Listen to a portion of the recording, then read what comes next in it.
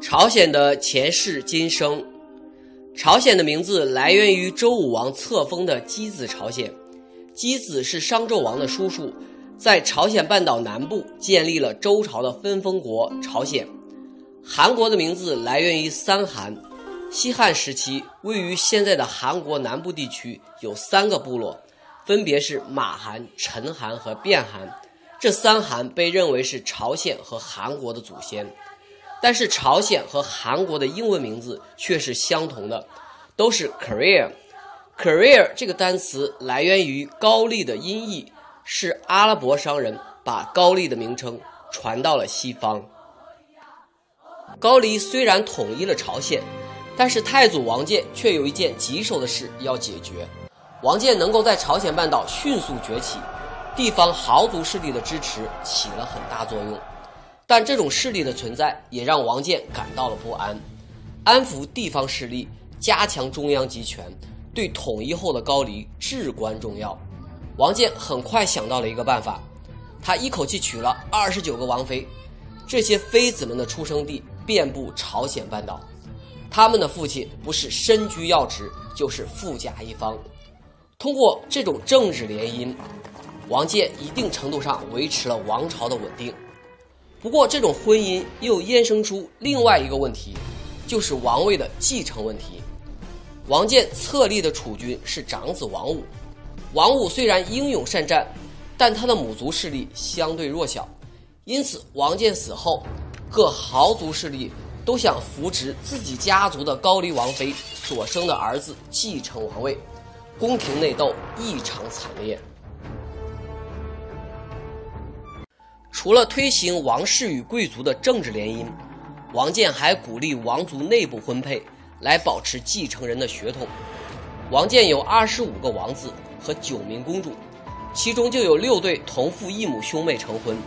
在王建倡导的婚姻制度下，高丽王朝的公主们绝大多数嫁给了亲哥、堂哥或者亲叔、堂叔。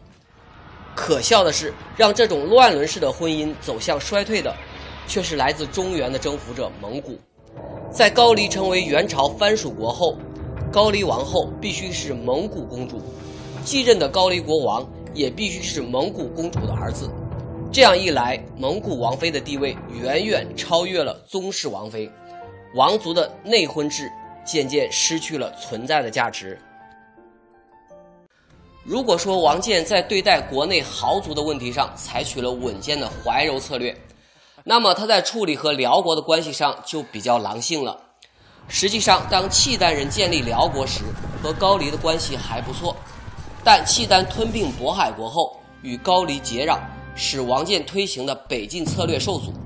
可王建没有因此失去扩张的野心，他开始积极吸纳渤海国移民，诱惑大量渤海人不断涌入高丽境内。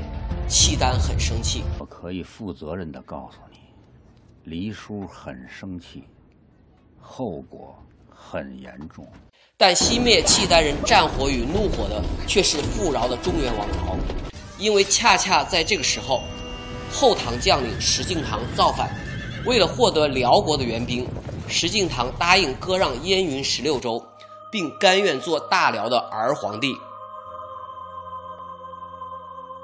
辽国自然选择中原这块肥肉。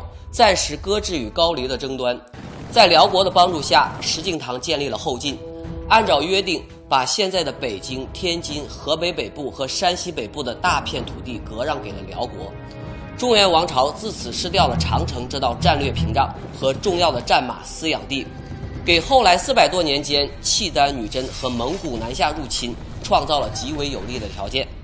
所以，石敬瑭被后世称为大汉奸。尽管石敬瑭是沙陀族人，而不是汉人，与石敬瑭对契丹百依百顺形成鲜明对比的是高丽太祖王建对契丹的不屑一顾。王建在向后晋称臣的同时，试图游说石敬瑭一起对付契丹。石敬瑭显然儿皇帝坐久了，失去了脊梁，没有接受王建的提议。九百四十二年，石敬瑭病死，石重贵继位，王建又派使者到后晋。重提以前的建议，石重贵虽然能力一般，却是个很有骨气的皇帝。继位后就想摆脱契丹的控制。同时，他也希望高丽从东边牵制契丹，来减轻后晋对抗契丹的压力。可惜计划还没有实施，王建就去世了。王建临终前给子孙留下遗训，被后世称作“训要十条”。其中的第四条遗命是要求高丽子孙学习中国礼仪，不要效仿契丹这种禽兽国家的礼仪制度。可见王建对中原文化的崇仰和对契丹人的鄙视。九百四十三年，太宗王武继承高丽王位，后晋初帝石重贵按照惯例册封了王武，并派遣大使传达圣意，要求高丽攻击契丹。可中原大使来到高丽就崩溃了。一方面，高丽正规军几乎没有战斗力；另一方面，根基不稳的王武还在忙于应付各种残酷的内斗。没有精力和能力去挑战契丹，志大才疏的石重贵不得不独自迎战契丹。短短四年，后晋被契丹灭国。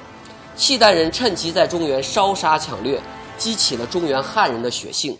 他们自发组织起来，多的数万，少的只有几百，到处突击契丹军队，杀戮契丹官吏。辽太宗耶律德光最终无力维持在中原的统治，只好灰溜溜的撤军。在回国途中病死。